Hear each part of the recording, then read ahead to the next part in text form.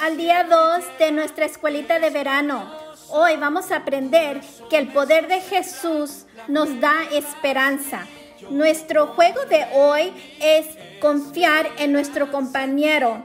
Vamos a sostener las vías del tren. Cuando las vías del tren fueron construidos, los que los construyeron tenían muchos obstáculos que tenían que vencer.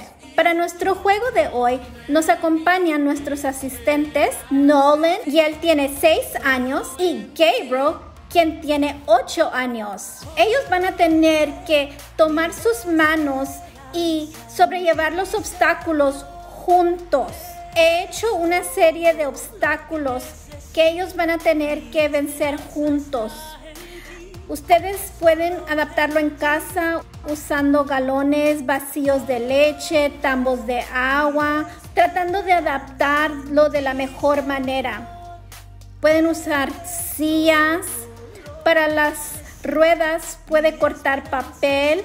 Si lo hacen afuera, pueden dibujar círculos con tiza y hacerlo afuera en su casa.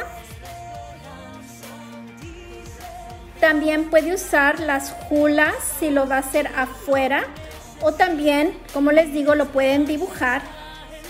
Aquí también he usado sillas, también he usado un flotante de agua. Pueden usar una escoba, cualquier cosa que ellos puedan usar para montarse por abajo o por arriba. Lo pueden hacer más fácil o más difícil el obstáculo. ¿Listos? Bueno, ellos van a empezar este um, obstáculo juntos. Tienen que sostenerse de las manos en todo momento y no dejarse. Van bien. Alrededor, sobre la silla. Cada uno de los círculos. Ahora los dos juntos en la jula. Ahora sobre el flotante juntos. Muy bien. Ah, pueden cambiar y uno puede ser el líder y el otro el que sigue. Como les digo, lo pueden hacer lo más fácil o lo más difícil.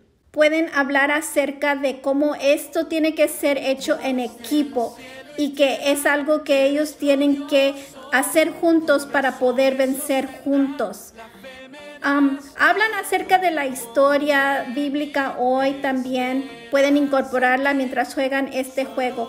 Algunas preguntas que usted le puede hacer a sus hijos cuando están haciendo esta este juego es hablando acerca del punto de hoy, recordándoles, Jesús nos da el poder para dar esperanza.